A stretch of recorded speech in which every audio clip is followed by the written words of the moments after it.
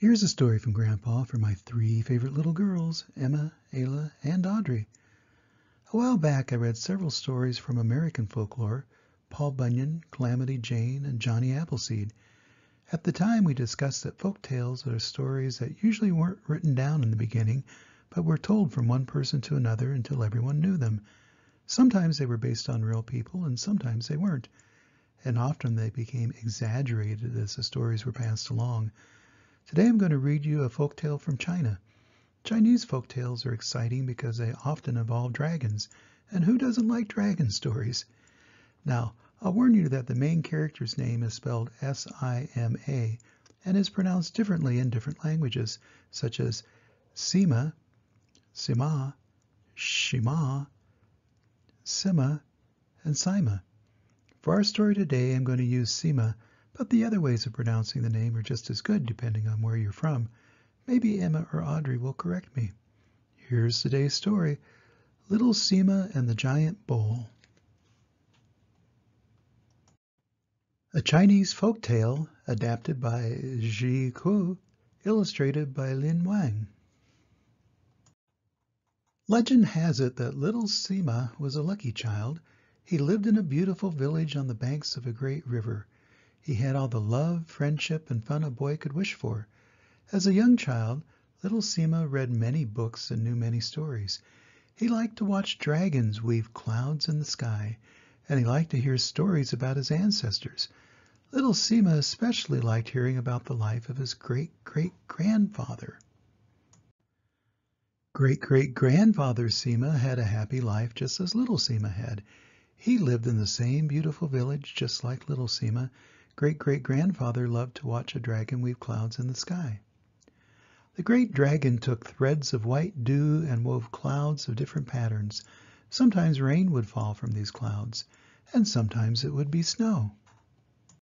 But one winter day the great dragon that wove clouds for the village grew tired of his job. He turned his back on his duty. Chinese dragons had to live where there was plenty of water, in clouds or in rivers or lakes.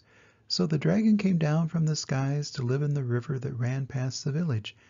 He became known as the Black Dragon to all who lived in the village.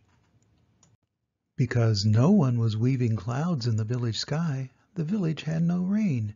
The earth became dry, the river grew shallow. The shallow water in the river annoyed the black dragon. In anger he rose from the river to breathe out fire every year. The fire burned houses and plants near the river. It charred the trees. It turned the once green river banks into a wasteland.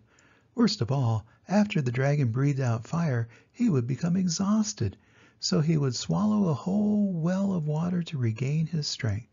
Soon all the wells in the village were dry. The village became poorer and bleaker each year. For fear of the black dragon, the families kept all their doors bolted. The streets became empty. No laughter was heard. No children played outside. Without rain the crops could not grow. The animals starved.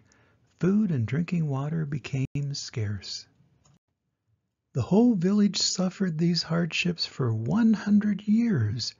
Yet the Simas remained hardworking, kind, and hopeful for a better life. 100 years after the black dragon left the skies, little Sima was born. The family embraced their baby child with joy and sorrow.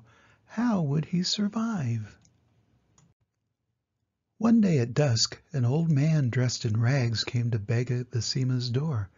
He was so old and fragile that he had to lean on a stick. Could he survive the chill of the night on the street? Little Sima's parents were kind people, so they invited the old man into their house. They shared their meager supper of porridge with him. Porridge was the only food they had eaten for a month. After supper, little Sima's father put up a bed so the old man could rest for the night. When little Sima's parents woke up the next morning, they found the old man meditating on a straw mat. He looked stronger after a night's sleep. He thanked the Simas for saving his life, the life of an old beggar, as he said. He told them, Before I leave this world, I want to give you my only earthly possession. It is a fish gong.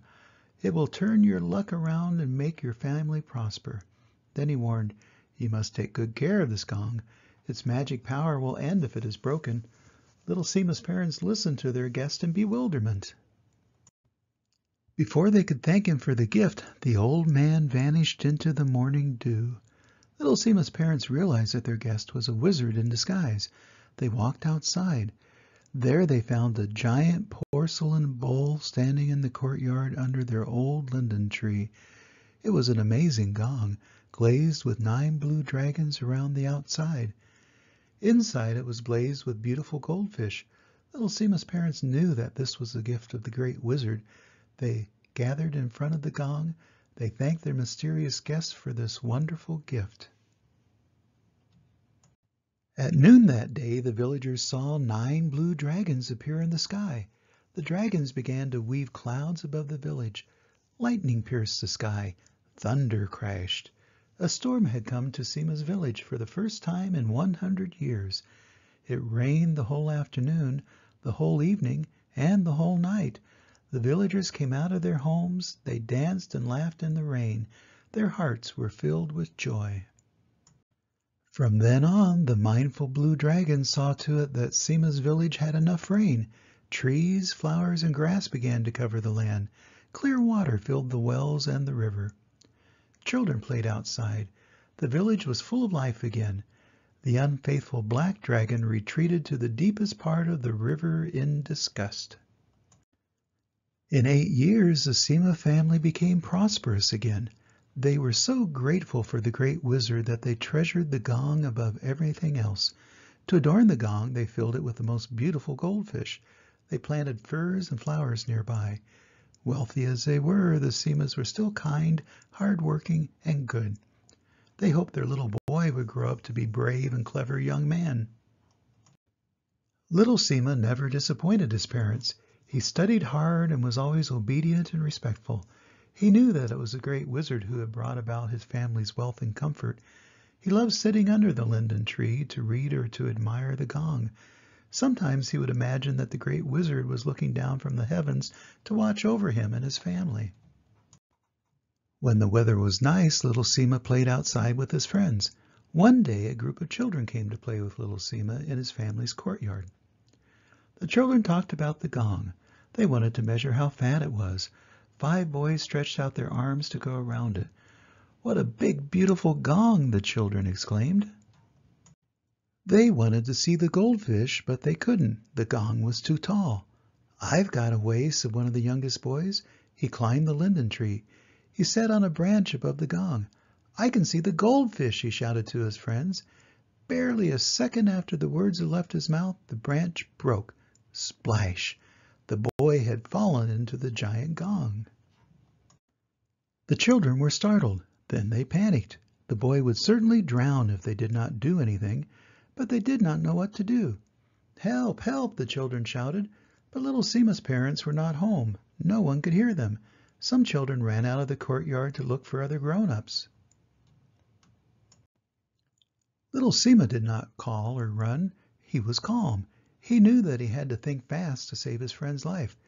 He took a big stone from a flower bed, but he hesitated. Should he be disrespectful of the great wizard? Would his parents blame him for breaking this treasure? Little Sima had no more time to think. His friend was gasping out words for help.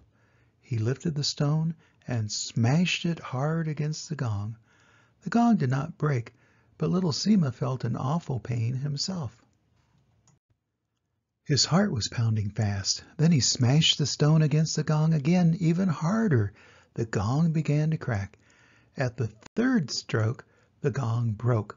Water poured out. Little Sima's friend was saved.